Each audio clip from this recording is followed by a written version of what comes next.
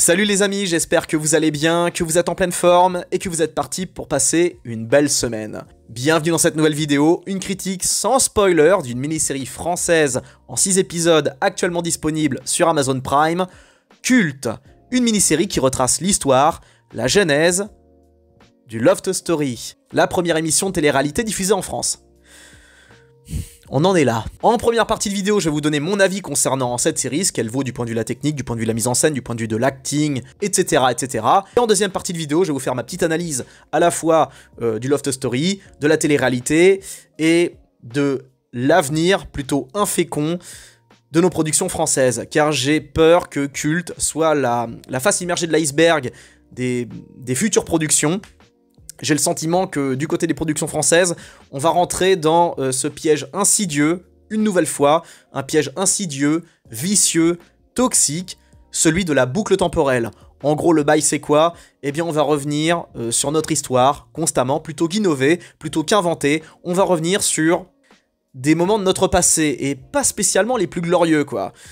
Pendant que les Coréens, ils vous produisent Squid Game ou d'autres séries de top qualité, pendant que les Américains vous produisent, je sais pas moi, ça, ça ou encore ça, bah nous on fait des séries sur euh, bah, l'histoire du Loft Story, quoi. Compliqué, hein. Et pour autant, est-ce que la série est ratée? Est-ce qu'elle est réussie? Est-ce qu'elle est aussi visionnaire que le concept de base qu'elle tente d'adapter? Voyons ça ensemble, installez-vous bien, et je demanderai à ceux et celles qui sont pas encore abonnés à la chaîne, mais qui ont l'habitude de me regarder, s'il vous plaît, abonnez-vous, on a passé le cap des 20 000, c'est énorme, et je vous en remercie, infiniment. Ceux qui sont abonnés, je veux dire. Allez, on se retrouve dans les commentaires pour discuter de tout ça.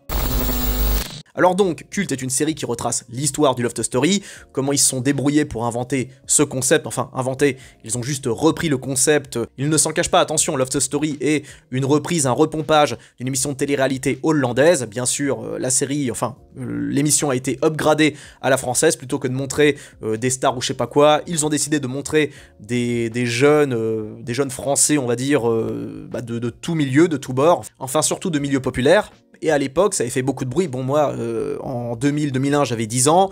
Loft Story, ça me parlait pas. Ça parlait juste aux ados, aux grandes personnes. Même si je regardais pas, je sentais bien l'engouement autour de ce truc. À l'époque, mes cousines qui étaient ados, elles étaient à fond là-dessus. Je savais que ça existait, mais j'étais pas à fond sur ce truc. Ça parlait davantage aux gens nés dans les années 80, 70, 60 pour les plus progressistes, et ça me permet de rebondir sur le fait que cette série ne parlera pas aux gamins nés toute fin 90, euh, début 2000 et après, même si ces jeunes-là connaissent bien sûr le concept de télé-réalité. Mais Love Story c'était quand même incroyable à l'époque parce que c'était la première émission française, enfin la première émission télé-réalité à mettre en avant la télé-réalité. Et donc on voit dans cette série comment ils ont galéré pour mettre ça en place, euh, comment ils se sont battus euh, pour euh, comment ils se sont battus auprès des annonceurs, auprès des patrons de chaîne, auprès de la hiérarchie, ce que vous voulez. Ils montrent bien la galère que ça a été pour mettre ça en place.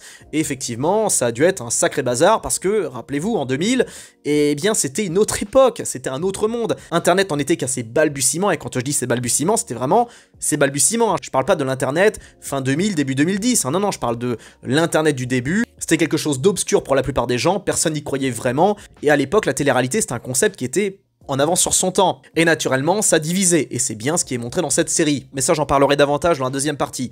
Quoi qu'il en soit, concernant donc cette mini-série, eh bien, je lui ai accordé le bénéfice du doute, parce que Amazon Prime nous a produit quand même de bonnes séries, notamment Alphonse l'année dernière, en 2023. Vraiment une très bonne mini-série, une très bonne surprise, auquel j'y croyais pas du tout. Et quand j'ai vu la bande-annonce de culte, je me suis dit, oh là là, bon, Allez, pourquoi pas Parce que la série est peut-être originale, peut-être qu'on va nous proposer quelque chose d'unique, peut-être qu'on va avoir affaire à quelque chose de dynamique, d'expérimental même. On n'est pas à l'abri d'une surprise. Même si la bande-annonce faisait assez peur, car la bande-annonce vendait quelque chose qui se prenait très au sérieux, quelque chose de très basique, euh, sans aucune originalité, et effectivement, la bande-annonce pour le coup nous a pas trompé, c'était pas de la publicité mensongère. La série se prend effectivement très au sérieux et ne propose absolument rien en termes d'originalité. Si la série pousse à fond sur le côté wow, Love Story à l'époque c'était révolutionnaire, on n'avait jamais vu ça, c'était incroyable, et eh ben du côté originalité, la mini-série c'est pas trop foulé. Parce que en gros, on reprend plus ou moins les codes, euh, j'ai envie de dire, de séries un peu stressantes comme Prison Break, 24 heures chrono, ou Soft Cards ou des trucs comme ça, mais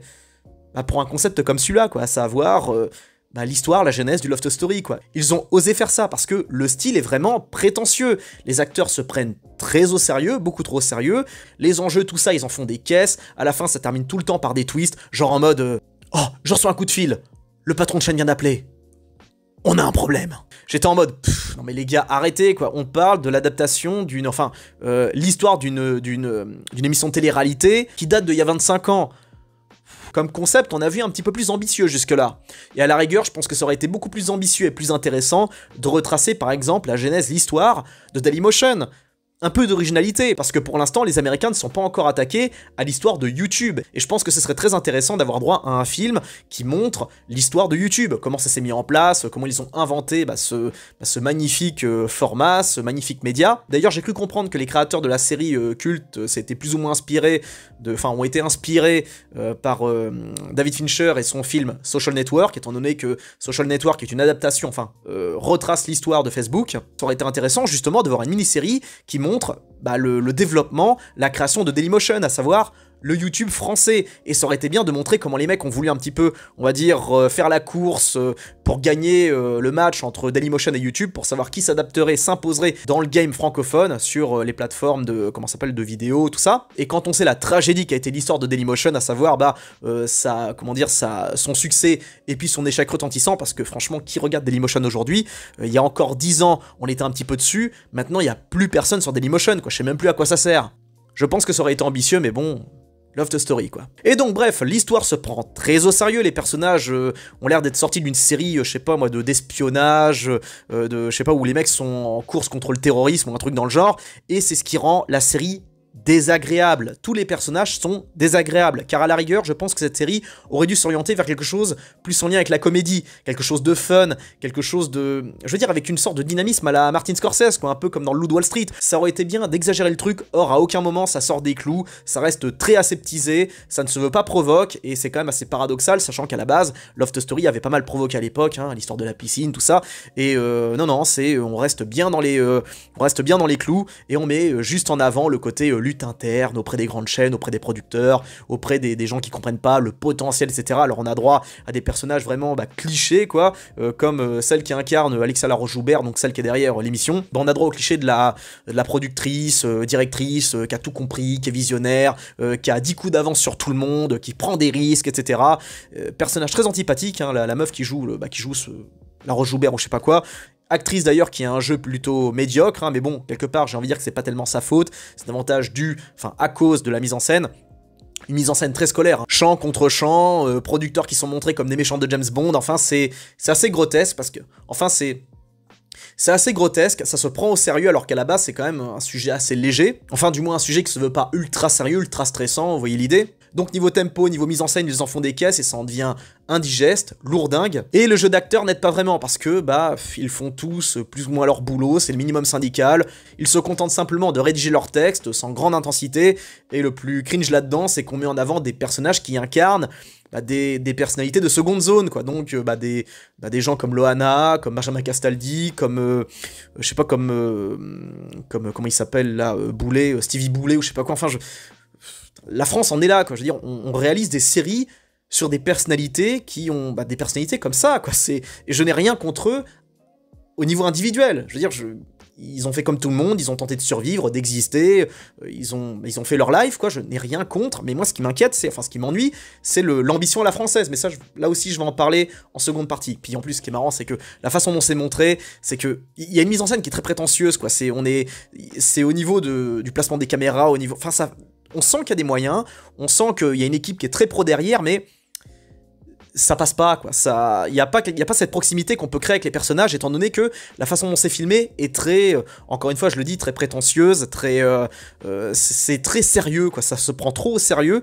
Or on aurait aimé je pense pour beaucoup voir un peu plus de légèreté là-dedans un peu plus d'humour. Or il y a pas un seul moment où c'est fun. Il y a pas un seul moment où j'ai rigolé. Quand il se balance des punchlines à la gueule on sent bien que c'est scripté parce que on n'y croit pas une seule seconde. Les mecs ont pas pu sortir ça comme ça d'une traite. On voit bien qu'ils récitent simplement un texte. D'ailleurs pendant que j'y pense c'est des plans qui me font un peu marrer comme ce passage où il y a les producteurs de télé euh, qui sortent de leur bagnole et pour euh, donner un effet dramatique, un effet sérieux, il y a un plan sur les portes qui se referment. Genre on voit le, un mec en beau costume qui sort et il y a un plan sur la clanche, enfin sur la porte qui se referme. Ok, ensuite il y a un deuxième homme d'affaires qui sort, enfin un deuxième patron de chaîne, boum, plan sur la porte qui se referme. Enfin c'est quoi le concept là? Concernant la reconstitution, étant donné que ça se déroule début 2000, 2000-2001, bah, euh, bah c'est bah correct, hein. on revoit les vieux téléphones, on revoit les vieilles télés, les télés cathodiques, tout ça, les fringues un petit peu, mais globalement c'est pas non plus une immersion ultra réaliste, ultra travaillée, on n'est pas euh, dans l'amour ouf de Gilles Lelouch, quoi, où pour le coup, la, la comment s'appelle, l'immersion dans les années 90 c'était très réussi. Bon bien évidemment j'imagine qu'il n'y a pas le même budget, mais concernant la reconstitution, bien ils ont fait le minimum syndical, quoi. On montre quelques téléphones, euh, quelques sonneries de portables de l'époque, le bruit d'internet quand vous allumez le PC, euh, voilà c'est tout quoi. Et en soi c'est déjà pas mal. Mais bref, quoi qu'il en soit, niveau mise en scène, c'est très scolaire, c'est très moyen. Niveau jeu d'acteur, c'est pas terrible, il y a aucun personnage pour lesquels j'éprouve de l'empathie, même pour celle qui incarne Loana, euh, les autres personnages pareils, j'ai éprouvé aucune sympathie pour aucun d'entre eux, alors que pourtant ils sont censés dégager un minimum d'humanité. Or, j'ai rien ressenti du tout. Et tous les autres personnages sont interchangeables. Bon bref, niveau acting, c'est zéro. Niveau musique, c'est des trucs dramatiques. Hein. Encore une fois, c'est de la musique qui se prend au sérieux. C'est presque lunaire par moment. Heureusement, de temps en temps, on a droit à des musiques d'époque, hein, fin 90, début 2000, pour nous rappeler que coucou, on est en 2000, 2001. Donc euh, ça permet d'avoir une espèce de de comment s'appelle de marqueur temporel et concernant le reste bah écoutez rien à signaler rien à redire. C'est pas une série qui va révolutionner le game c'est pas un indispensable. Je lui mets un 4 sur 10 et j'estime être assez généreux. Voilà les américains ils produisent Tchernobyl les coréens Squid Game nous culte. Même le titre il est prétentieux quoi Maintenant c'est parti pour l'analyse en profondeur de cette série, ou plutôt du concept de télé-réalité. En fait j'ai fait un petit mix, alors j'ai pris quelques notes quand même, parce que bon, fallait bien que je rentabilise le temps de visionnage, donc j'écrivais des idées qui me venaient en tête comme ça pendant que, bah, pendant que je regardais. Et euh, voilà, il faut qu'on parle de quelque chose de dramatique. C'est que cette série euh, nous fait rentrer dans le, dans le cercle vicieux de la boucle, euh, parce que s'il y a bien quelque chose qui me dérange en France, c'est qu'on a une espèce de fascination pour le passé, et pas le passé spécialement le plus glorieux, quoi. Parce que je vois par exemple avec mes... Comment s'appellent mes, mes amis boomers, ils ont tendance un peu trop à euh, boucler sur leur histoire. Oh là là, les années 60-70 c'était génial, les années 80 c'était fantastique, enfin... Euh, mes amis de cet âge-là, ils sont dans ce genre-là, et également les personnalités que l'on voit à la télé. Quand vous écoutez des Sardou, des mecs comme ça, des Gérard Lanvin, ces mecs-là, ils nous parlent que du passé non-stop, et ils nous font bien comprendre que l'époque dans laquelle ils vivent, en gros, c'est de la merde, quoi. Alors que non, cette époque n'est pas plus pourrie que celle d'avant, et je sais que certains d'entre vous ne sont pas d'accord, certains vont me dire que cette époque actuelle est horrible, atroce. Euh, écoutez, euh, je suis un pauvre, je suis un galérien, je le précise, pour ceux qui ont l'habitude de me voir, vous le savez, mais je le précise pour ceux qui ne me connaissent pas, mais je suis un pauvre, et je peux vous confirmer que je préfère largement être pauvre aujourd'hui plutôt qu'il y a 40, 50 ans. Et si j'étais riche, eh bien je suis sûr et certain que je préférerais être riche maintenant plutôt qu'il y a pareil 40, 50 piges. J'ai beaucoup de mal avec le côté euh, nostalgique, infécond de ces personnalités qui nous nous cassent les oreilles sans arrêt dès qu'on leur tend le micro, ils se plaignent sans arrêt, je sais pas, l'autre jour j'écoutais pareil Didier Bourdon qui se plaignait de l'époque parce qu'on peut plus rien dire, patati patata. Alors oui, je suis d'accord Didier, on peut plus dire des dingueries euh, comme dans les années 90, parce que c'est vraiment un drame? Déjà d'une, et surtout, bah oui, on peut plus dire les dingueries d'avant, mais on peut toujours euh, tourner des films non-stop euh, qui bident au box-office, et tout en sachant qu'on va pouvoir continuer à faire du cinéma. Hein. Parce que c'est ça aussi l'époque, hein, l'époque miraculeuse que vous critiquez actuellement, je parle surtout des nantis, hein, tout ça, bah c'est une époque qui vous fait vivre grassement. Petit tacle à euh, Didier Bourdon que j'adore, enfin, que j'adorais dans les Inconnus des années 90, il était vraiment talentueux avec son équipe, hein, ils étaient géniaux, les Inconnus. Bon bah Didier Bourdon, depuis une bonne quinzaine d'années, il enchaîne les comédies, des comédies sans âme, sans originalité, ça n'arrête jamais quoi, et c'est pas des comédies qui cartonnent au box-office, c'est pas des comédies qui font systématiquement des millions d'entrées. Enfin, les mecs qui se plaignent de l'époque alors qu'ils sont juste gavés de pognon, ça me sidère. Et le truc avec cette série, c'est que j'ai peur que on prépare la génération, ma génération et celle d'avant, à boucler comme leurs prédécesseurs. Et j'ai bien l'impression que, bah, dans 10 ans, plutôt que d'adapter des séries, je sais pas moi, sur des sur des explorateurs, sur des, je sais pas moi, des conquérants, des mecs comme ça, des inventeurs, des trucs dans le genre, avec un truc dynamique, avec un style intéressant, euh, bah au lieu de ça, on va nous produire, je pense, dans 10 ans, euh, la genèse de Secret Story, pourquoi pas, on peut en être là, où on verra un acteur qui incarne Michael Vendetta ou des gars comme ça. Euh, Secret Story, c'est un petit peu, on va dire, l'extension du Loft Story à la fin des années 2000, début 2010. À l'époque, j'avais, ouais, je sais pas, 17, 18 ans, et, je voyais toutes mes copines, tous mes potes qui regardaient ça, j'étais, ça, ça, me, ça, me, ça m'ulcérait, quoi. Et je ne parle même pas de toutes les déclinaisons qu'il y a eu, parce que Loft Story a vraiment ouvert la voie à tout plein d'émissions de télé-réalité, tous euh, plus débiles les unes que les autres. Et euh, d'ailleurs, je voudrais en parler justement bah, de l'impact de la télé-réalité, ce que j'en pense, mais ça c'est plus pour après. Mais pour revenir donc à ma critique, on va dire, du, du boomerisme mental, j'ai peur que dans le futur, effectivement, on boucle une nouvelle fois. Donc, euh, imaginez dans 10 ans, euh, série sur euh, Secret Story, dans 20 ans, série sur TPMP, même si je ne critique pas en soi TPMP parce que c'est la seule émission actuelle que je soutiens parce que c'est la seule à mettre en avant les prolos, les travailleurs, les galériens, les gens du quotidien, les gens du petit peuple. C'est la seule émission qui le fait. C'est pas quotidien qui s'y colle, ni qu'à l'époque, ni des émissions comme ça. Vous n'êtes pas prêt de voir un prolo chez eux, croyez-moi. par contre, des hommes d'affaires, des éditorialistes, des hommes politiques, des acteurs, là, il n'y a pas de souci, vous, Là, on leur déballe le tapis rouge. Et donc, j'ai peur qu'on s'enferme un petit peu dans cette boucle parce que j'ai l'impression que les gens de. Bah, pas ma génération, mais celle d'avant, eux aussi sont dans une espèce de délire nostalgique à, je veux dire, à fantasmer les années 80, 90, début 2000. Alors j'entends bien que la nostalgie fait, fait part de l'humanité. On est naturellement nostalgique. Moi aussi, je suis nostalgique de mes meilleures années, les années euh, euh, fin 2000, début 2010. Je suis nostalgique de ma vingtaine. Pour autant, il faut aller de l'avant, car on n'est pas seul au monde. Il y a les nouvelles générations qui arrivent, et moi, je vais être dans le coup. Et je peux pas m'empêcher de comparer le mindset des Français, enfin de, nos contemporains, avec les Américains. Par exemple, je parlais de Sardou, de ces mecs-là. Bah écoutez, euh, je sais pas, comparer euh, les interviews de Sardou, de Gérard Lanvin ou des gars comme ça avec ceux euh, de Stallone ou de Schwarzenegger.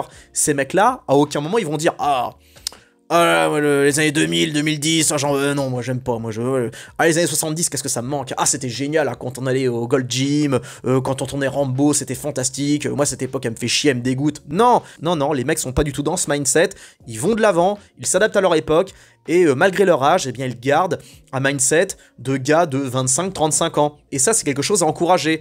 Or, avec ce genre de série, on entretient, on va dire, cette espèce de délire de bouclage sur le passé, et pour moi, ce n'est pas une bonne chose. Et encore une fois, on ne boucle pas sur le meilleur de notre passé, hein, parce que franchement, avoir la nostalgie du, Loft Story, euh, c'est quand même inquiétant, quoi. En tout cas, j'ai peur qu'on nous embarque dans une nostalgie inféconde, et ça m'inquiète, hein, ça m'inquiète parce que, bah, moi, j'ai envie qu'on aille de l'avant, qu'on se projette plutôt dans le futur, plutôt qu'on regarde dans le rétroviseur. Il y a rien, quoi. Oui, c'est intéressant, c'est cool 5 minutes, mais il faut quand même se focus un petit peu vers... Euh, vers le futur, parce que c'est pas pour rien qu'on est le pays, je pense, qu'on est le premier pays consommateur d'antidépresseurs. Alors oui, ok, l'insécurité, la politique, ça joue beaucoup, mais je pense que boucler constamment sur le passé, dire que le passé c'était génial et qu'aujourd'hui c'est de la merde, ça doit pas aider à ce que les gens se sentent mieux dans leur peau. Hein. Je pense. Hein. Bon alors tout ce que j'ai noté globalement c'était euh, des points par rapport à la série, ce qu'elle incarnait, donc finalement j'ai tout fait de tête, mais il y en a un autre que je voudrais soulever, c'est le rôle de la télé-réalité concernant l'évolution des mentalités, car si j'exècre, on va dire, la télé-réalité comme Loft Story, tout ce que ça incarne, tout ça par rapport, on va dire, à cette vulgarité, c'est ce genre de truc, même si en soi, c'est une vulgarité qui, on va dire, à prendre avec des pincettes, parce que c'est facile de taper sur des émissions comme Secret Story, parce que, euh, enfin, Loft Story, pardon, parce que c'était quoi? C'était des gens, on va dire, de classe populaire, comme par exemple Loana, des meufs comme ça, c'était des gens de la vie de tous les jours, c'était des, euh, individus issus du prolétariat, de la classe moyenne, ce genre de choses, et euh, c'est principalement la raison pour laquelle cette émission était considérée comme vulgaire. Pareil, ça m'inquiète ça aussi, j'ai peur que la France continue dans cette voie, j'ai peur qu'on reste dans une espèce d'élitisme de circonstances qui est assez malhonnête, parce que, euh, oui, Loft Story c'était vulgaire, mais vous croyez que les autres émissions c'était mieux? Penchez-vous sur les émissions de Thierry Ardisson dans les années 90 et 2000, c'était pas mieux parce que Hardisson il s'est toujours un petit peu euh, comment dire euh, euh, tiré la couverture du mec le plus classe du plus cultivé du plus comment dire du, meilleur du mieux enfin les chevilles de comment s'appelle d'Hardisson doivent être je sais pas comment il fait pour mettre ses pompes vu les chevilles qu'il doit avoir le mec tellement qu'à chaque fois qu'il passe à la télé, il tire la couverture vers lui, il a tout inventé, il a tout créé, il est génial. Et bah, quand vous vous penchez sur les émissions d'Ardisson, c'était pas mieux. Parce que oui, sur son plateau, le mec, il ramenait des stars, des politiques, des mecs comme ça, mais globalement, 90% des questions, ça tournait autour du HUC, quoi. C'était pas mieux. La différence entre le Loft Story et euh, des émissions comme celle d'Ardisson, bah, c'était juste le package, l'enrobage. Et euh, ça dénote quelque part pour moi une certaine forme d'hypocrisie, parce que Loft Story, on, l'a, on a tapé dessus, à juste titre, mais euh, comment dire, j'estime que d'autres émissions méritaient là aussi, on va dire, une petite claque humiliante derrière la nuque, quoi. Et notamment les émissions d'Ardisson, c'est, je sais pas, c'est 20 heures dispétantes, ces trucs-là. Bon, après, c'est clair et net que ça n'avait pas du tout la même portée, mais je pense que vous avez compris où je voulais en venir. Et quoi qu'il en soit, Loft Story avait ses défauts, oui, mais ça a quand même permis de faire évoluer les mentalités. Malgré le fait que oui, comme j'ai dit, je déteste la télé-réalité et tout ce que ça, donnait par la suite, même les émissions de de télé-réalité chansons comme euh, Star Academy, ces trucs-là, je sais pas, Popstar, enfin moi je, ne pouvais pas supporter ces trucs-là, euh, mais c'est personnel, je sais que bah, beaucoup de gens de ma... Enfin, ceux d'avant ma génération, ils adoraient ça, et donc mon avis pour le coup n'engage que moi, mais du point de vue, euh, comment ça s'appelle, du point de vue fonctionnel, eh bien, Love Story a quand même eu sa petite part d'utilité. Euh, je tiens à dire que quand j'ai vu euh, Loft Story débarquer, Star Academy, j'ai tiré un peu la gueule parce que ça avait cassé, on va dire, la dynamique et l'ambiance qu'il y avait au sein de ma propre famille. Car euh, chaque, chaque hiver, chaque été, il y avait, enfin je sais plus quelle saison, mais il y avait grosso modo ma famille qui venait, donc mes cousins, mes cousines, tout ça. Et avant l'arrivée de ces émissions, eh bien, on passait du temps en famille. On jouait à des jeux de société, on rigolait, on déconnait, on sortait, c'était pas mal. Or, quand ces émissions sont arrivées, eh bien, toute la famille était rivée devant la téloche. Donc euh, c'est marrant parce qu'on dit tout le temps que les gamins euh, sont arrivés sur leur téléphone, euh, leur smartphone, tout ça, alors que bah bah, ça date pas d'hier, quoi. Dans les années 2000, tout le monde était euh, sur son poste de télé, quoi. À délaisser plus ou moins les activités familiales, et ça, franchement, bah, ça me faisait un peu chier. Mais euh, du point de vue, euh, du point de vue évolution des mentalités, eh bien, ça a permis, on va dire, de faire sauter quelques verrous, notamment des verrous, on va dire, sociétaux, comme par exemple, bah, le fait de se montrer, le fait de s'assumer. Je sais pas, l'histoire de Loana, par exemple, dans la piscine, ça avait choqué tout le monde. Bon, bah, maintenant, c'est plus tellement choquant. Et en soi, est-ce que c'était si choquant que ça? Bah, pas tant que ça en réalité. Enfin, moi, je pense. Alors après, c'est mon côté latin. Je suis pas spécialement choqué par les, on va dire, par les, les plaisirs de la chair, mais euh, ça a permis de faire au moins évoluer les mentalités, ni en bien, ni en mal, mais ça les a fait évoluer. Et pour avancer, on a besoin d'évoluer. Et pour ça, bah, il faut secouer un petit peu le cocotier sortir des trucs un peu choquants, et c'est pas une mauvaise chose. Donc, quelque part, le Loft Story, même si c'était un peu cringe par moment, même si c'était pas spécialement du haut level, du haut niveau, eh bien, ça a quand même eu son utilité. Bon, bien sûr, vous avez vu comment je parle, je suis pas un expert, je suis pas un analyste, je suis pas un psychologue, machin, mais ça a quand même eu un impact. On est sorti, on va dire, de l'ancien monde, euh, d'une télé, on va dire, qui était assez, comment dire, assez, euh, qui était mi-élitiste, mi, euh, mi-beauf par moment, avec certaines émissions qui étaient quand même assez, assez drôles et puis assez fun. Il y avait des programmes populaires, oui, mais la télé avait encore ce côté, on va dire, cette, cette espèce d'élitisme plutôt sérieux, assez solennel, et on a ce truc qui débarque, cette nouveauté, et bah ça a eu un impact non négligeable. Et qui sait comment la télé aurait évolué si Secret Story n'avait pas débarqué, si on n'avait pas eu la télé-réalité, qu'est-ce que ça aurait donné? J'en sais rien et c'est plus ou moins intéressant d'y penser. Alors Loft Story, qu'on aime ou qu'on n'aime pas, on ne peut pas négliger l'importance, l'impact de cette, euh, bah, de cette émission sur le mindset, sur le comment s'appelle, bah, sur le paysage audiovisuel français de l'époque. Et ça a permis, j'ai envie de dire, de faire rentrer la France dans le nouveau millénaire, dans une nouvelle vision, dans une nouvelle approche, car au moins la différence entre une série comme euh, Culte et Loft Story, eh bien Loft Story c'était original à l'époque, c'était nouveau, c'était novateur, ça avait, on va dire, un petit vent de fraîcheur. Or culte, bah c'est une série qui arrive avec euh, bah, plus de 15 ans de retard, quoi. Désolé les gars de vous choquer, mais euh, bah, euh, par exemple, Social Network, donc le film qui adapte l'histoire de Facebook, ils n'ont pas attendu. Facebook était créé, je crois, en 2004-2005. Ça a commencé à être vraiment mainstream vers 2008-2009. Ils n'ont pas attendu, ils ont tourné le film en 2010. Enfin, ils ont tourné le film en 2009, ils l'ont sorti en 2010. Nous, on sort ça, enfin, un film sur euh, Loft Story, on sort ça 25 ans après. Enfin, 24, on va pas chipoter. Enfin, c'est... Et ça en dit long là aussi sur le... Comment dire, sur nos productions. Quand on se veut original, on a toujours 50 ans de retard. Merci d'avoir suivi ma réflexion jusqu'au bout, je vous dis à très bientôt pour une prochaine vidéo. Donnez votre avis dans les commentaires, c'est hyper important, rebondissez sur ce que je dis, n'hésitez pas, reprenez-moi si j'ai des bêtises, tant que c'est de façon courtoise bien évidemment. Prenez bien soin de vous, à une prochaine, plein de bisous à tous, ciao